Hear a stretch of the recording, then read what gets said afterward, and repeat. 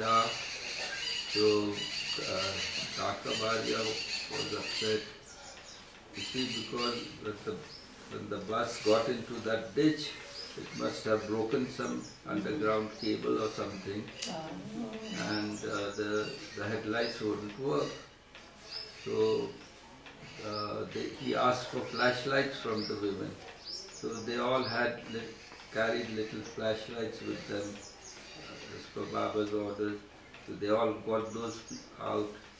And poor Kaka was sitting on the mudguard of the of the bus and showing the the road by by means of torch, torch small battery torches, you know. And it was a very difficult journey. And it was a, we had just arrived at the base of a mountain and we were climbing this mountain and it had these big hairpin curves, I, I remember. And it was all forest all around. And the bus was making headway very slowly because it, they could hardly see the road, there being no headlights. And these batteries would run out and other torches would, would and so on.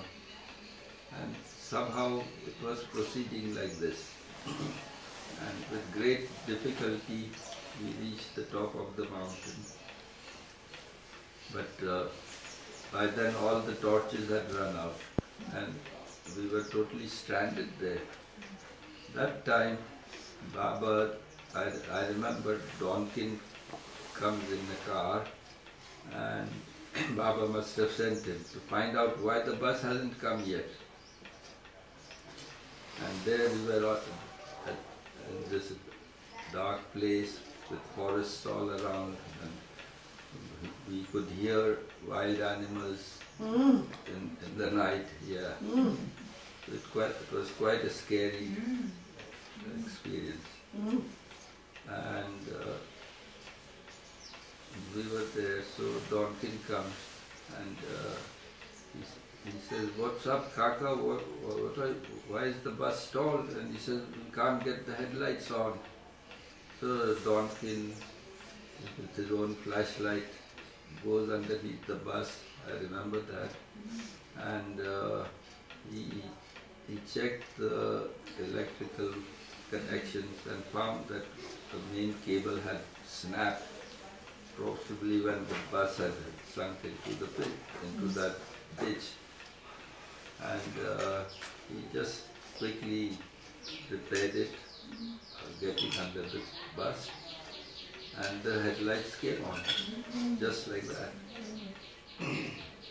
So uh, I remember that Donkin had mechanical skills also. He liked cars, didn't Pardon? he? He liked cars and motorbikes Yeah, and yeah, playing he, with them. he was very fond of all that. So he was a man of many talents. So he got this uh, headlights repaired and everybody shouted Baba's Jai and, uh, and the bus started to proceed ahead and somehow we reached Jog Falls and was late in the night, we remember. We reached at about 10, 10.30 in the night and Baba was furious, what happened? And Kaka said, Baba, the lights failed. So Baba said, you see what happened when you break my orders? All these complications arise. So Kaka had learnt a little lesson in his life. And we all had to suffer for that, you know. So this was the journey. Then uh, Baba wanted us to observe the jog falls in the night. Everybody was dead tired. And Baba says, keep awake. I want you to see the falls. And Baba had asked Elizabeth to make arrangements. beautiful rest government rest house tourist uh, spot from where you could see the river falling down from the mountains. And uh, if you made the arrangements and paid the fees, they would send these uh, local people there uh, up, up the mountain from where the river was falling down and light up big hay bundles that would fall, keep falling with the river and it would light up the falls in the night mm. and you could see the whole falls falling down.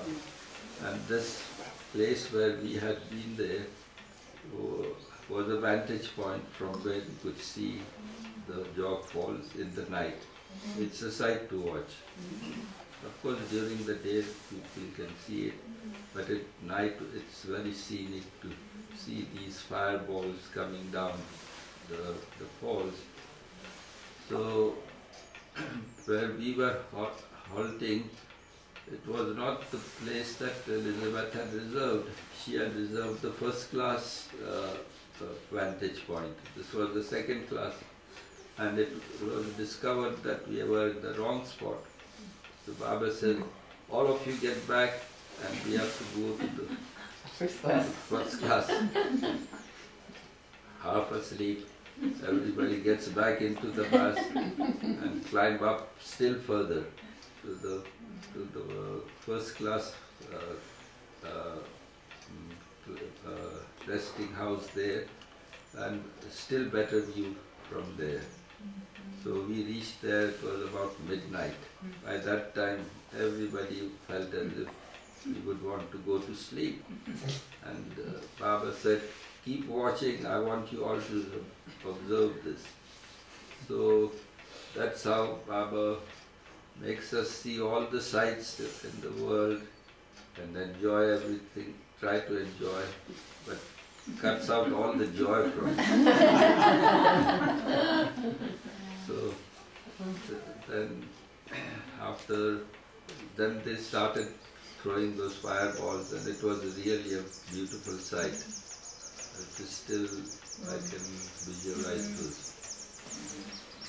So from there, then we proceeded ahead and then we went to Goa and other, other spots.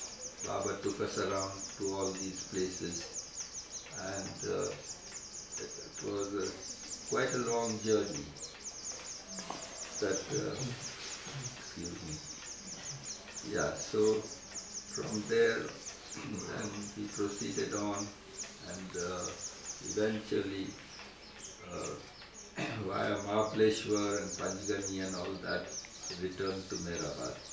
And when we returned to Meherabad, Baba was very busy. Uh, there was a big meeting that Baba had arranged at Meherabad, and he had called all his disciples from all over India, and he was extremely busy there, I remember. And then uh, uh, Baba, after all those meetings were over, he tells uh, my family that we were to go back to Bangalore because it was during our school vacation that I had accompanied Baba uh, on the journeys. And now the school was reopening, so Baba says, we all go back. So we were sent back to Bangalore. While we were in Bangalore with Baba, we stayed in the links and I would go to school from, from the links. He had asked me to join the school there in Bangalore. And Elizabeth would drive me to the school and bring me back to the links. So now that Papa was not there, uh, was sent in advance and he hired a small bungalow there uh, in near in the in, in the Bangalore city itself. And